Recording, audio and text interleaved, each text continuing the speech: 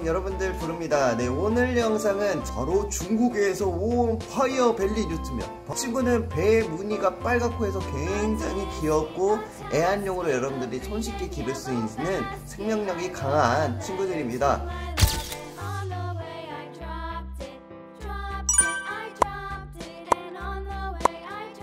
자 짜잔. 지금 300마리 정도가 와서 우와 이렇게 다 붙어 있는 자체가 우선 너무너무 신기한데 아이고 아이고 오 배처럼 띄워놓을까? 야 이거 보세요.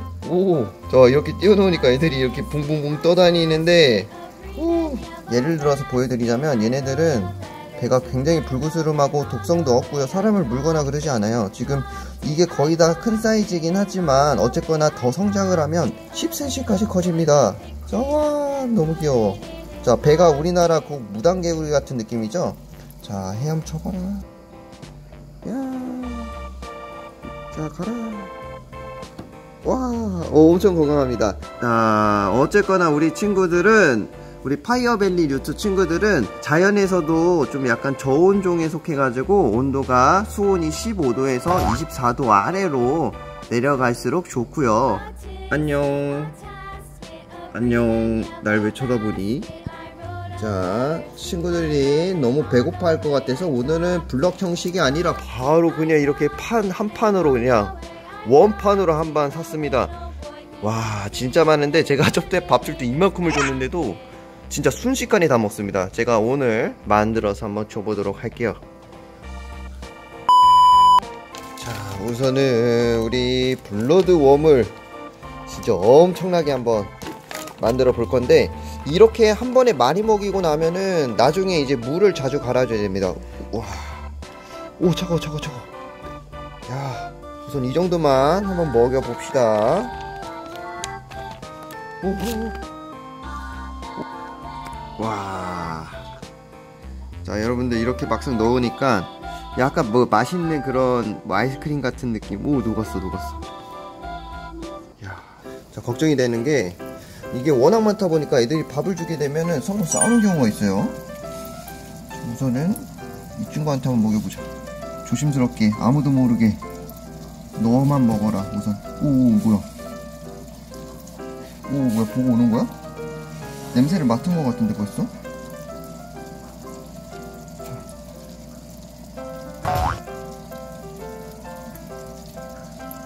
어 먹는다 먹는다 여기 몰래 한번 더 넣을게요. 이게 모든 친구가 알게 되면은 흥분을 해서 서로 싸우는 경우가 있는 것 같아요. 그래서 여러분 여러 마리 기르실 때는 한 마리 한 마리 챙겨주시면 좋은데 저는 너무 많으니까 이렇게 조용하게 알 수 있는 친구들 챙겨 먹으라고 우선 넣어놓고 바닥에도 여기다가 넣어놓을게요. 슝. 들어가라. 우와 야 저것만 해도 진짜 50마리 넘겠다. 진짜 많죠? 좀 영양분이 부족할 것 같은 느낌이 들어가지고 저는 만약에 소량 사육을 한다고 치면은 귀뚜라미 같은 거 있죠? 그런 걸 잘라줘도 왠지 좋을 것 같은 느낌이 듭니다. 아이고 아이고 싸우지마. 뒤에 애들 막 싸우려고 해야 너 먹어봐. 야 야 잘 먹네. 야 좋아. 오 냄새 맡고 오는데요 자 조금씩 넣어주도록 하겠습니다. 친구들 흥분하지 않도록 조금씩만. 안녕. 야 잘 먹는다.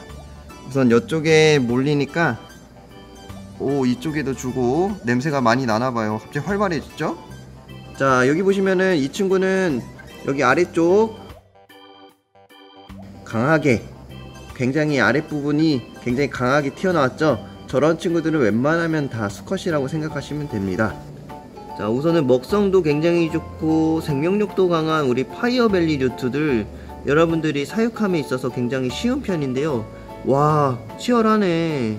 여러분들이 봄철에 산란을 받을 수 있는데 제가 저번에 산란을 한번 받아봐서 도롱뇽 새끼들을 부화를 시킨 적이 있는데 사육이 굉장히 쉽지는 않습니다.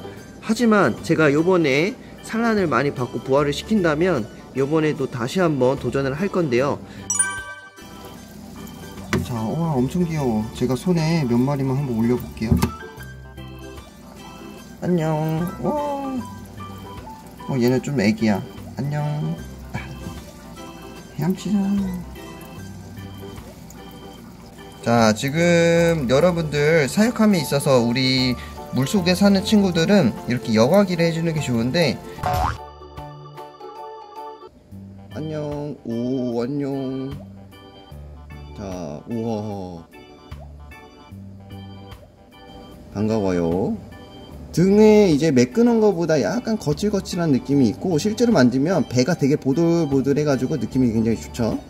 발색도 자세히 보시면 조금 다른 친구들도 있고 통통한 친구, 작은 친구, 조금 마른 친구 다양하게 있습니다. 굉장히 사육이 쉽다는 장점을 가졌기 때문에 여러분들이 입문을 하시겠다면 파이어밸리 루트로 보통 입문을 많이 하시죠.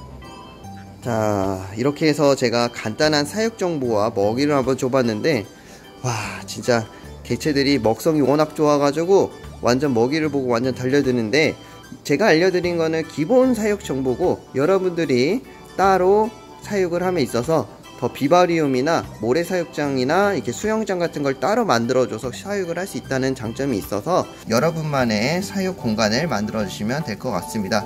웬만하면 굉장히 생명력이 강하기 때문에 누구나 손쉽게 사육을 할 수 있어요. 자, 해가지고 오늘은 영상 여기까지 하고 다음에 찾아뵙도록 할게요. 그러면 안녕.